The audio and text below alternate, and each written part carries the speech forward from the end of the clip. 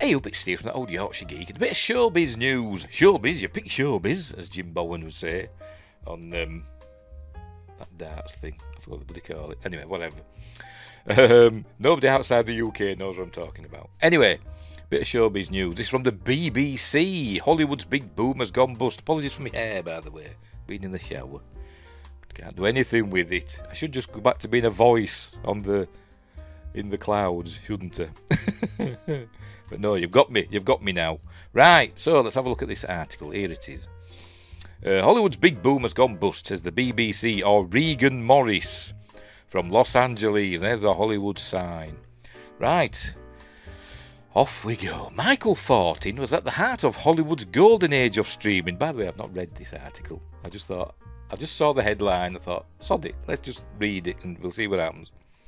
The actor and aerial cinematographer turned his hobby of flying drones into a profitable business in 2012, just as the streaming wars were taking off. Was it that long ago? 12 years ago? Is that. Seems a long time, does that? Anyway.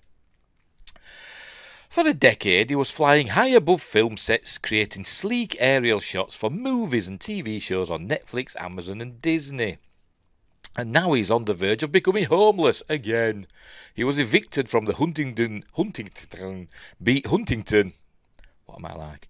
Beach home he shared with his wife and two young children, and now is being booted from the Las Vegas apartment they moved to because they could no longer afford to live in Southern California.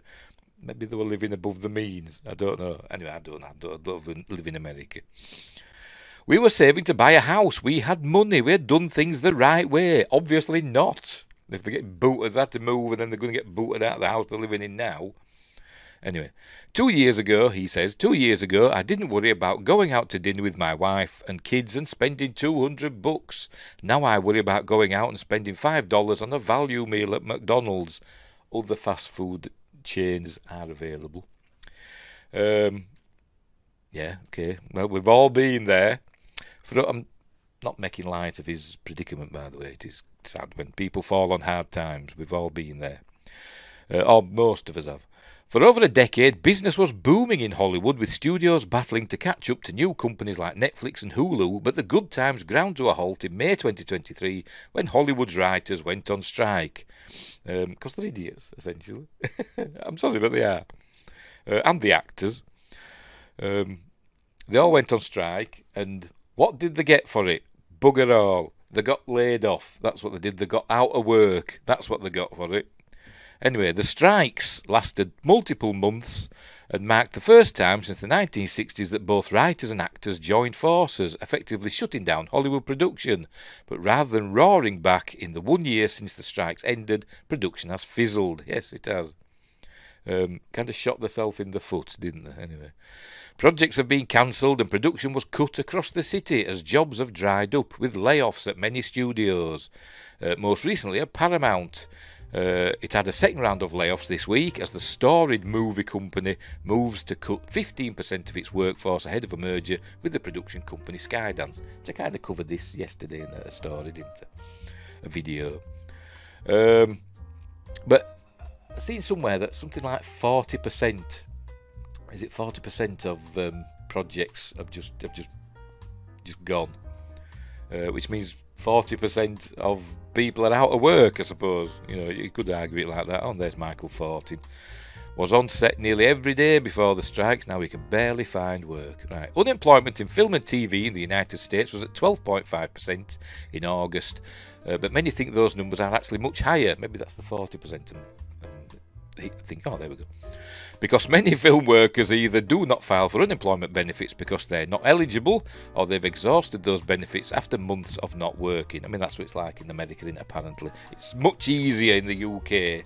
If you're out of work, you, you can you go sign on and you get your benefits. You don't get a lot. Um, unless you've got kids and married and stuff like that, and you get a bit more. But if you're like a single person, uh, unemployed, you don't get a, you can't get barely enough to get by to pay the bills and stuff like that. Um, but anyway, but you get help with rent and and, and, all that and all that. You can get like um, they used to call it rent rebate. I forgot what they call it now because um, I get it because I'm very poor. Um, anyway. Uh, as a whole, uh, that's in the UK, that's not America. I know in America it's a lot harder, in it. If you're not working, it's a lot harder uh, because you know there are there are benefits and stuff like that, but they run out, don't they? Essentially, they don't run out in the UK. Um, anyway, as a whole, the number of US productions during the second quarter of 2024 was down about 40%, there we go, compared to the same period in 2022. See, I do hear some things that are, that are right. I don't get everything wrong. Globally, there was a 20% decline over that period, according to ProdPro, uh, which tracks TV and film productions. That means less new movies. You mean fewer? Bloody hell, Regan. You're right for the BBC. Get your words right. That means fewer new movies and binge-worthy shows for us. Uh, I think that's. I think the English language is changing, isn't it? It is changing. I tried to go off on a tangent and start rambling again, but it is changing, and more people are starting to say that that will replace less will replace fewer um, in the, the coming years and the word of instead of have that's gonna that's gonna start being you know normal english you know i should have done whatever instead i should have does me head in but that's how that's how language changes doesn't it words get replaced Anyway, that's by the by. But experts say the streaming boom wasn't sustainable, and studios are trying to figure out how to be profitable uh, in the new world when people don't pay for cable TV funded by commercials. I do. I've still got my cable TV. Hardly watch anything on it, but it's all it's like bundled in with me, me internet and phone and all that. So, and it costs a bloody arm and a leg. And here I'm moaning about being poor. Anyway. But it was a deal. I had the money off thing and I'm stuck with it for two years or 18 months or whatever. Anyway, uh, the air has come out of the content bubble, says Matthew Belloni, the founder of Puck News, um, which covers the entertainment industry. Crisis is a good word. I try not to be alarmist, but crisis is what people are feeling. It seems that way, particularly, you know, in Hollywood. Um, in, in, in terms of finding work and stuff like that and getting pro- projects off the ground, um, you know, people are people are losing money and people are uh, like this poor chap, um, Michael Fortin, going to end up being homeless. Uh, it seems, but uh, anyway, hopefully the the the him, him speaking to the BBC, he'll, he'll find him a job. Hopefully somebody will read it and say, "Oh, we need somebody that does aerial photography." Anyway. Anyway, I was going to say something else and I forgot what it was. Oh, I cable TV and all that. Yeah, people stopped. A lot of people have stopped paying for cable TV or just going for like the, the very basic.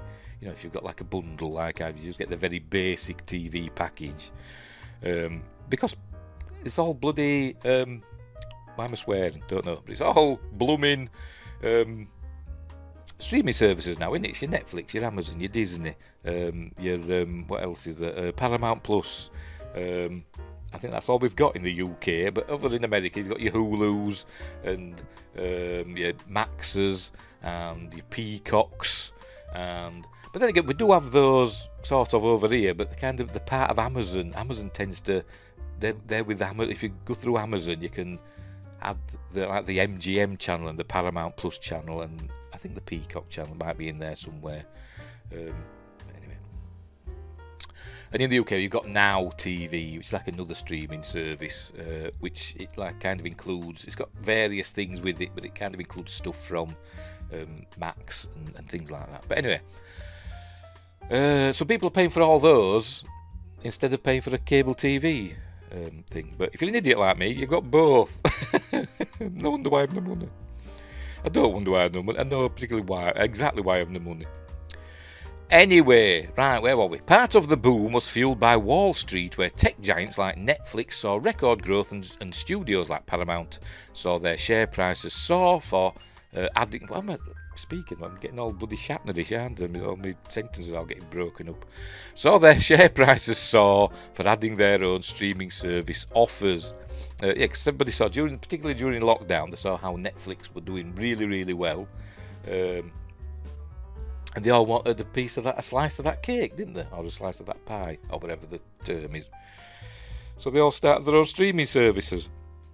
And then they found um, it's not quite as easy as they thought it was. And um, even Netflix struggled for a while, but then it eventually asserted itself as the big boy, didn't it? Um, but uh, like I said, the others seem to be struggling, particularly like Disney and Paramount Plus and Peacock. Um, but anyway, anyway, uh, it caused an overheating of the content market. There were 600 scripted live action series airing just a few years ago, and then the stock market stopped rewarding that, Mr. Belloni says. Netflix crashed. Well, it didn't really, did it? It didn't really crash. What are you talking about? Uh, all the other companies crashed. Netflix came out on. Oh, there we go. Netflix has since recovered. I don't think it crashed though, did it? It went into a bit of a slump, as they all did um, because it overstretched. It started producing too much of its own stuff and spending too much money on its own stuff. And then it thought, hang on, we don't need, we don't need to be doing all that. So they kind of recovered, didn't they? Uh, they were doing films like that Bright film, and they were doing like making films with big stars and spending like hundreds of millions of dollars on them, um, and not getting anything in return. Essentially, not getting enough in return because people were already subscribed to Netflix. Um, and I wonder, you know, had they reached the, the ceiling of subscribers? Some could, some could argue that. Anyway, uh, Netflix has since recovered, but the others are really struggling to get to profitability. Uh, I think Netflix has recently just gone into profit, and it? has been in like in the red for donkey's years, which they expected, and I think recently it's just gone into profit, and it? I'm sure I've seen that somewhere. Anyway, uh, and along with the streaming bubble bursting, I think Max has just gone into profitability as well, hasn't it? I think. Uh, and along with the streaming bubble bursting, some productions are also being lured away from California by attractive tax incentives in other states and countries. Uh, Los Angeles leaders are so concerned about the slowdown that Mayor Karen, Bra- uh, Karen Bass sorry, uh, created a task force last month to consider new incentives for film production in Hollywood. I, th- I think productions are starting to come back to the UK now because I think the new Labour government that we've got, I think, has started um, putting in the um, uh, sort of like gi- giving out tax incentives, uh, big ones for studios to come over here and film in the UK. Anyway, where were we? The, the entertainment industry is critical to the economic vitality of the Los Angeles region, Bass said, announcing the plan, explaining it is a cornerstone of the city's economy and supplies hundreds of thousands of jobs. Recent data shows the entertainment industry contributes over $115 billion, £86 billion pounds, annually to the region's economy. So, not just the country as a whole, but just California, I suppose with an employment base of over 681,000 people, the mayor said. Uh, there's the idiots on strike. Uh, for nothing, essentially. You went on strike, you lost your job. But it was worth it in the long run.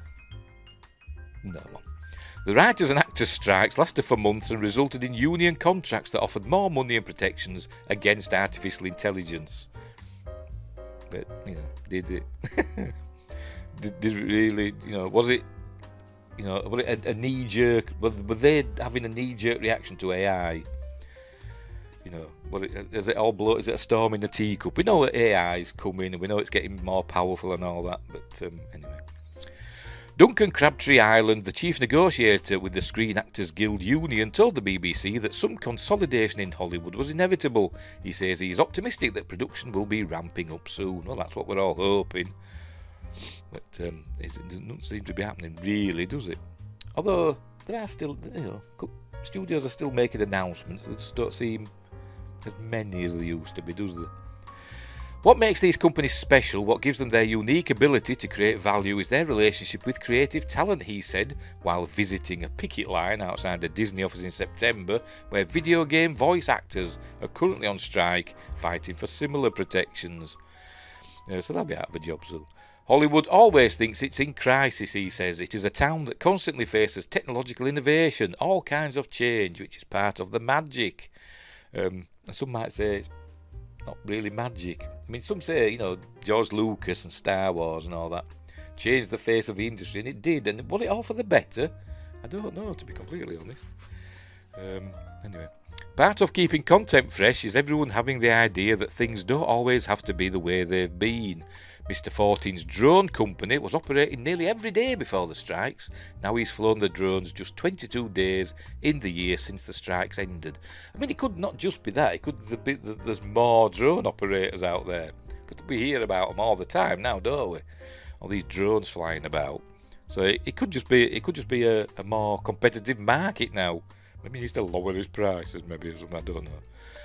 Anyway, and as an actor, he often plays tough guys. Oh, so he's an actor as well. He has worked just 10 days. He used to work as a background actor to get by, but the pay barely covers the gas money to get to Los Angeles from Las Vegas. It was a great wave and it crashed, Mr. Fortin said, after a day flying his drones on the Apple TV Plus show Platonic, his first gig with drones since April. Things are coming in little by little, he says in his van, before driving back to Las Vegas for a court hearing to fight his eviction order. Well, good luck with that, Michael. Hollywood gave me everything, he says, but it feels like the industry has turned its back on lots of people, not just me. Well, that's Hollywood, isn't it? Um, Hollywood is a vicious place, and it's um, it doesn't care about you. Not really. It says it does, but it doesn't, because you know, Hollywood people, entertainment industry people, are generally two-faced bastards. There, I'm sorry for swearing, but uh, they are. They'll say one thing to your face, and then they'll say another thing when you're not there. Uh, some might say that's not just the entertainment industry, but it is pretty pervasive in the entertainment industry. They'll, they'll, they'll sing your praises at you, but then they'll fire you the next the next breath. But uh, that's Hollywood for you. So there we go. Anyways, that, that's the BBC covering this stuff. Hollywood's big boom has gone bust, but is it coming back? Is it going to boom again? Everything goes in cycles, doesn't it? Um, it will recover, but will it be the same? Like I said, we've got AI to contend with as well. Um, some might say that's helping. It's making things look better. Sometimes might some might say make, making things sound better. Um, you, when it's used as a tool rather than a, a creative um, platform. But uh, we'll see. We'll, we'll see what happens. That's all we can say. And Re- Regan Morris, remember, it's fewer, not less. Uh, at the moment. At the moment. But uh, anyway, good luck to Michael Fortin and his court hearing. I hope he doesn't get evicted, and I hope his work picks up. I hope his work picks up and his family does okay, and he can go out and spend two hundred dollars again for a family meal. Anyway, and not have to go to McDonald's for a happy meal. Because McDonald's not as good as it used to be, is it? But I'm rambling again. I'm going, going, um, going uh, off, off topic as usual. Right, we'll leave it there. We'll leave it there. Uh, by the way, I think I've said it before. I think a lot of people have said it that um, um, um, the streaming services. I think they will um, it, it, will it will shrink, and we'll see mergers and stuff like that down the line. But people have been saying that for a few years, and it, it hasn't quite happened yet. But maybe it's going to happen uh, over the next few years. We'll see mergers. We'll see like Paramount and Peacock merging and stuff like that. Just in terms of streaming services, sharing content with each other, or if not merging, as I said, sharing content, um, which um, which might not be a bad idea, or just just sell, or not sell, but um, what's the word? Um, lease out your content to people like Netflix and, and all that, and Amazon. Um, do that. That's a good way to make money, isn't it? But because um, I think Warner Brothers have started doing that, hasn't it? And um, and and well, Sony is the only big studio. Is it Columbia? It's the only big studio that doesn't have its own streaming service. I don't think. I know they used to have the PlayStation streaming service, didn't they? But they stopped that, didn't they? Um, but anyway, anyway, again, I'm rambling again. So right, so we'll leave it there. We'll leave it there. So right. Will Hollywood recover? We will see. We will see. I'm sure it will. It will, won't it? It will. But, uh, uh, you know, as I said earlier, everything goes in uh, in cycles. Right. So we'll leave it there. So thanks for watching, and wherever you are, look after each other, and until next time, hopefully my hair will look a bit better. I'll save it.